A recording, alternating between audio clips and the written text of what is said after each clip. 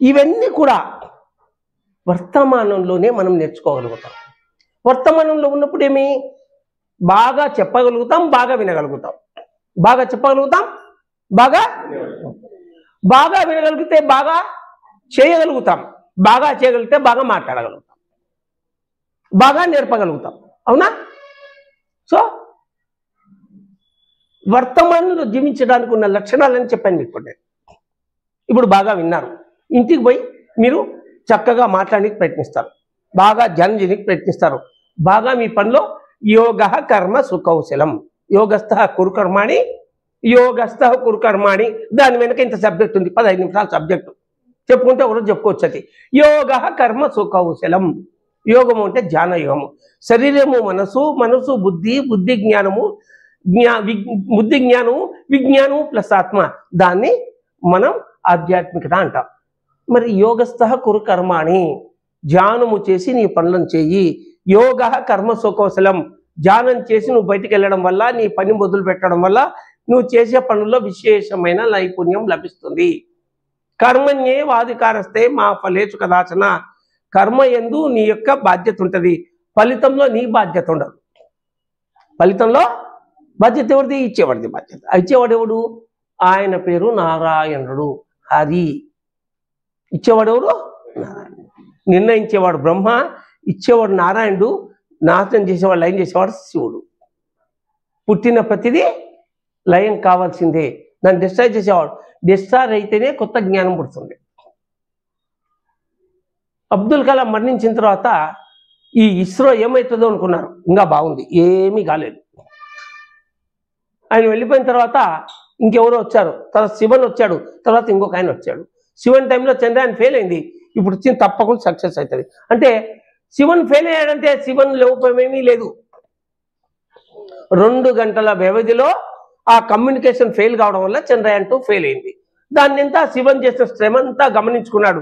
ఎక్కడ ఏ లోపాలను గమనించుకున్నాడు. ఇప్పుడు వచ్చిన దాన్ని ఇంప్లిమెంట్ చేశాడు. అప్పుడు ఫెయిల్యూర్ కావచ్చు. Failure is the base success of base base of success failure is the base of success. ఇప్పుడు తప్పకుండా చెన్నై సక్సెస్ అవుతాయి. అంటే మనం ఏం చేసిన పనులు వృధా కావు. దానికి ఫలితం ఎవరిస్తాడు కర్మణ్యవాధికారస్తే మా ఫలేషు కదా మీకు అందరికీ శ్రీకాళహస్తి తెలుసు కదా? కాళహస్తి తెలుసు కదా? చూసినా వినింటారు. కాళహస్తి పక్కనే ఒక నది ఉంది. ఆ నది పేరేమో తెలుసా? సువర్ణముఖి నది. సువర్ణముఖి నది. పదహారో శతాబ్దంలోనూ పదిహేదవ శతాబ్దంలోనూ కాళహస్తి ఈశ్వరాయం అక్కడ ఈశ్వరుని పేరు వాయులింగేశ్వరుడు. ఎనర్జీ వాయులింగేశ్వరుడు. వాయువు అంటే శ్వాస ప్రాణం. ఆ తల్లి పేరు జ్ఞాన ప్రసూనాంబాదేవి ఆ జ్ఞాన ప్రసూనాంబాదేవి సమేత వాయులింగేశ్వర స్వామి ఆలయం కట్టించేటప్పుడు అక్కడ ఇంజనీర్లు కళాకారులు శిల్పులు టెక్నీషియన్స్ వర్కర్స్ అందరూ కూడా స్నానం చేసిన సాయంత్రం ఆ నదిలో స్నానం చేసి ఇలా మునిగేవారట. మునిగి వాళ్ళకి ఎవరు వేతనాలు ఇచ్చేవారు శాలరీ ఇచ్చేవారు కాదు. ఆ ఇసుకని తీసుకునేవారట వాళ్ళు. ఆ ఇసుకను వారు తీసుకుంటే ఆ రోజు వారి వారి స్థాయికి వారు ఎంత పని చేశారో ఆ పనికి తగిన ఫలితం వాళ్ళ చెట్లు బంగారం ఇచ్చేటందుకే దాని పేరు సువర్ణముఖి నది. సువర్ణముఖి నది. అంటే ఫలితం. కర్మణ్యేవాధికారస్తే మా ఫలేచు కళ. జ్ఞానాగ్ని దగ్ధ కర్మాణం జ్ఞానము అనే అగ్నితో కర్మలను దగ్ధం చేయవయ్యా అని నడుచుకున్నాడు కర్మలు దగ్ధం కావాలి. ఎలా సాధ్యమవుతుంది మనం ఏం చెప్పుకుంటున్నాం? ధ్యానం జ్ఞానం. నువ్వు ఒట్టి ధ్యానమే చేస్తున్నావు అనుకోయ్యా. నీ ఇంట్లో ధ్యానం తప్ప ఇంకేం లేదు. రెండు గంటలు చేస్తావు మూడు గంటలు చేస్తావు. సబ్జెక్ట్ లేదు ఏం లేదు. అంతే. ఒక నెల అయిన తర్వాత బోర్ కొడుతుంది.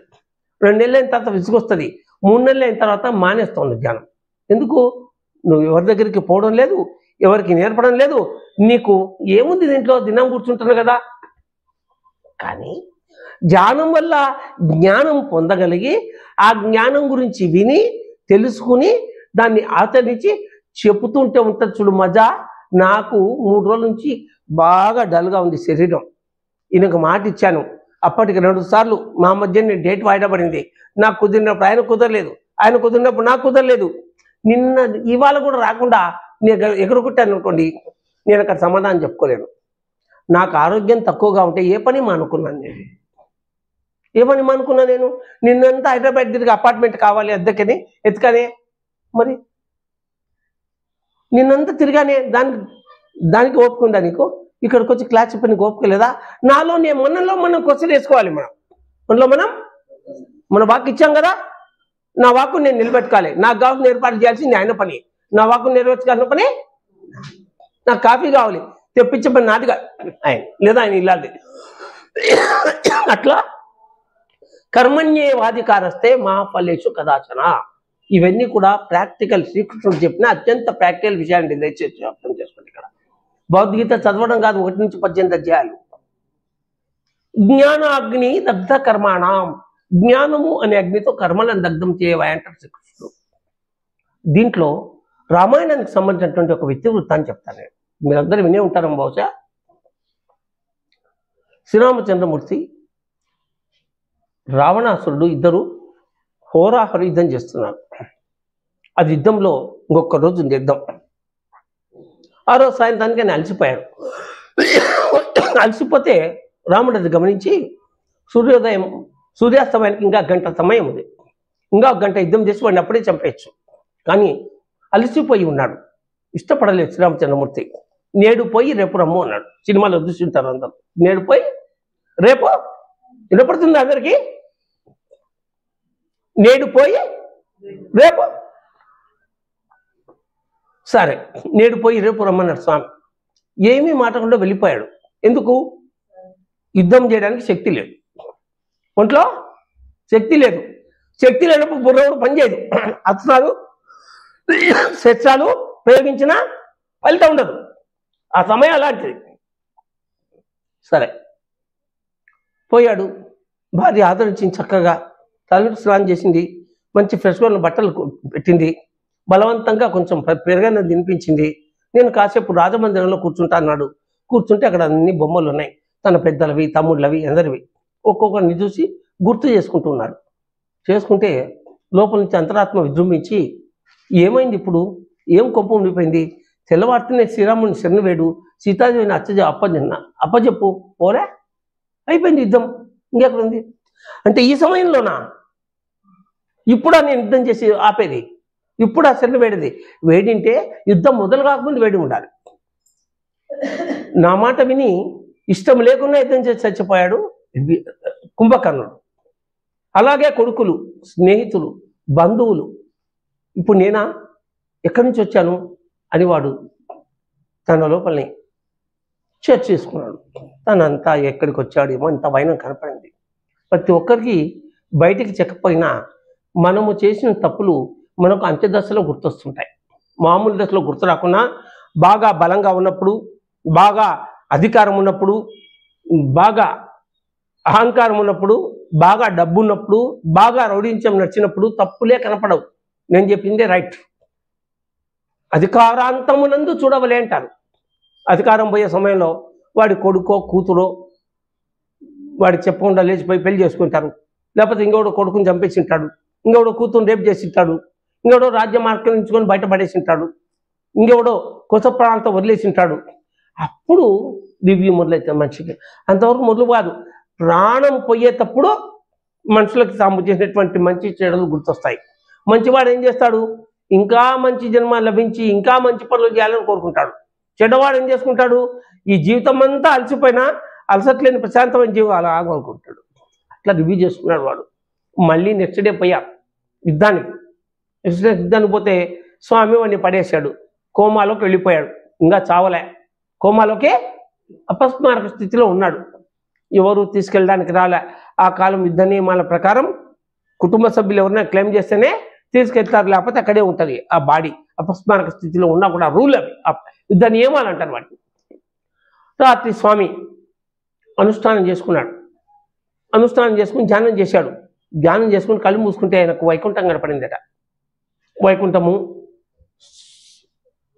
జయ విజయలో ఉన్న దారపాలకులు సనక సనందనాథులైన ఋషులు ఆ ఋషులు ఈ జయ విజయులకు ఇచ్చిన శాపం మరి హిరణ్యాక్ష హిరణ్యకశిపుల మొదటి జీవితం అయిపోవడం వాళ్ళిద్దరిని తాను చంపడం మరి ఇప్పుడు రావణ కుంభకముడుగా వీళ్ళు పుట్టడం కుంభకర్ణుడు చనిపోయాడు రావణ్ చంపాలి అనుకోవడం ఇవన్నీ గుర్తొచ్చాయి స్వామికి.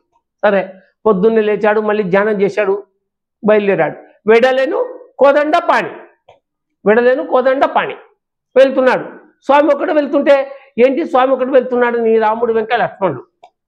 వాళ్ళిద్దరి వెనుక ఆంజనేయుడు. సుగ్రీవుడు అంగదుడు సుషేనుడు నలుడు నీలుడు జాంబవంతుడు కోట్లాది వానర సైన్యం. స్వామి ఎక్కడికో ఒకడు వెళ్తున్నాడు వెళ్తున్నారు.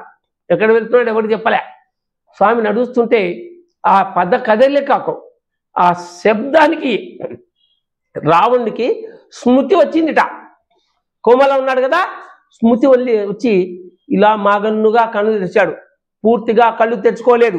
అలా తెరుచుకున్నటువంటి స్థితిలో స్వామి కనపడుతుంటే వెనక కోట్లాది వానర సైన్యం కనపడుతుంటే అన్నారట అనుకున్నట్ట రావణుడు చచ్చిన పామును ఇంకా ఏమి? దగ్గరకు వచ్చాడు స్వామి. దగ్గరకు వచ్చి ఆ స్వామి ఆయన పాదాలు పట్టుకున్నట్టు ఇట్లా. పట్టుకుని అయ్యా రావణ బ్రహ్మ ఆత్మ ప్రణామాలు అన్న. అయ్యా రావణ బ్రహ్మ. ఆ స్వామి స్పర్శకు వాడిలో జీవసత్వాలు ఉడిగి ఏమాత్రం కదలడానికి కూడా శక్తి లేని శరీరం చట్టుక్కున లేచి కూర్చున్నాడట. రాముని పాదము సోకితే రాతి నాతి అయింది. అహల్యాదేవి అటువంటి స్పర్శ ఎటువంటి స్పర్శ అది? దివ్య స్పర్శ. మరి ఇతడెవరు? రావణ అసురుడు అన్నాం కదా. కానీ అతడు రావణ బ్రహ్మ సద్బ్రహ్మ. బ్రహ్మ మానస పుత్రులు ఒకడైన పులస్య బ్రహ్మ కొడుకు విశ్వవసు బ్రహ్మ. ఆ విశ్వవసు బ్రహ్మ కొడుకులు కుబేరుడు రావణుడు కుంభకర్ణుడు విభీషణుడు శూర్పణక.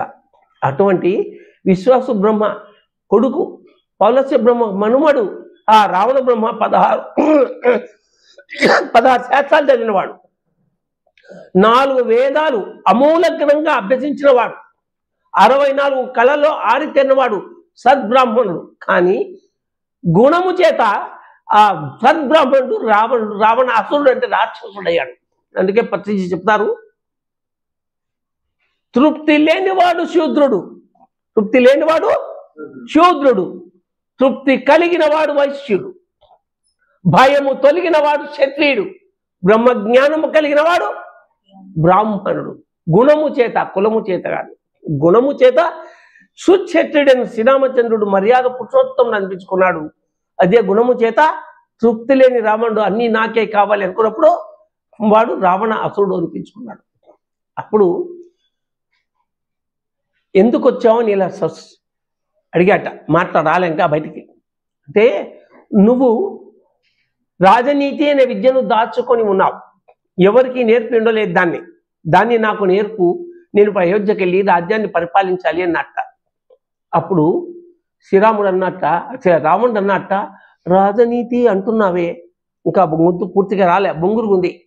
నేను లం- అయోధ్య నుంచి సీతను కాకుండా మరొక స్త్రీని ఎవరినైనా ఎత్తుకొని వచ్చింటే ఏం చేసేవాడు అన్నాడు అప్పుడు నా రాజ్యంలో ఏ స్త్రీనైనా సరే ఆమె ఇష్టం లేకుండా ఎత్తుకొని వచ్చింటే అప్పుడు నీకు ఇదే శిక్ష విధించేవాడిని. అంతేకాకుండా ఏడు ఏడు పద్నాలుగు లోకాలలో ఏ స్త్రీనైనా సరే ఆమెకు ఇష్టం లేకుండా ఎత్తుకొచ్చావని నాకు ఎవరైనా కంప్లైంట్ ఇచ్చినట్లయితే కాపాడమని రిక్వెస్ట్ చేసినట్లయితే అప్పుడు కూడా నేను నీకు ఇదే శిక్ష విధించేవాడిని అంట. అప్పుడు మాట పూర్తిగా వచ్చి శహబాష్ నిజమైన రాజనీతి ఇదేని? సమంత్రపూర్వకంగా ఆ రాజనీతి అనేటువంటి విద్యను ఇలా ధారపోశాడు. ఆ రావణాసుడు శ్రీరామచంద్రమూర్తి. అప్పుడు అతనిలోని ఒక వెలుగు తేజం శ్రీరామచంద్రమూర్తి హృదయంలో కలిసి ఆ హృదయంలో కలిసినటువంటి ఆ వెలుగు ఆ అనాహత చక్రం నుండి విశుద్ధానికి వచ్చి విశుద్ధంలో శుద్ధి ఆజ్ఞా చక్రానికి వచ్చి సిద్ధి అయి సహస్రారానికి వచ్చి బుద్ధి అయి వైకుంఠానికి వెళ్ళి ఆ మహా చైతన్యం కలిసిపోయిందట. జ్ఞానాగ్ని దగ్ధ కర్మ. జ్ఞానం అనే అగ్నితో ఎటువంటి కర్మలైనా దగ్ధం చేసుకోవచ్చు. కనుక ఎందుకు ఇలా అయిందో ఎందుకు ఇలా అయిందో ఎందుకు ఇలా అయిందో అని వదిలేయండి. గతం గత గాయం. మనం చేయగలిగింది ఏమీ లేదు. ఇది జీవితంలోని ఒక అనుభవము. ఒక పాఠము ఒక లెసన్ ఒక ట్రీట్మెంట్ ఒక మెడిసిన్ ఈ ఆత్మజ్ఞానం అనేటువంటి మందు జ్ఞానం జ్ఞానం అనేటువంటి ఈ అద్భుతమైనటువంటి తేజోమయమైనటువంటి జ్ఞాన ఔషధం మన కర్మలను ఎటువంటి కర్మలైనా దగ్ధం చేస్తుంది అని మనం తెలుసుకుని ఈ క్షణం నుంచే మనం ధ్యానాన్ని మొదలుపెట్టి జ్ఞాన మార్గంలో జీవిస్తూ ఇక ముందు చేయబోయే పనులన్నీ కూడా సత్కర్మలు ఎప్పుడైతే చేస్తామో మన భవిష్యత్తు మన చేతుల్లో. అందుకే శ్రీకృష్ణుడు ఓషో అంటాడు భవిష్యత్తు కృష్ణుడిదే భవిష్యత్తు భవిష్యత్తు కృష్ణుడు అంటే ఏంటి? ఆ పుస్తకం ఏడు వందల యాభై పేజీల వాల్యూమ్ వాల్యూమ్స్ ఉన్న రెండు పుస్తకాలు. భవిష్యత్తు కృష్ణుడిదే. కృష్ణ చదివారా మీరు? కృష్ణ చదివారా? ఓషోది కృష్ణ. రెండు వాల్యూమ్స్ ఉంటాయి. చదవండి. ఆ రెండు పుస్తకాల సారాంశం ఒకే ఒక లైన్. అదేంటంటే ఎవడైతే వర్తమానంలో జీవిస్తాడో వాడిదే భవిష్యత్తు. అదే పుస్తక సారాంశం.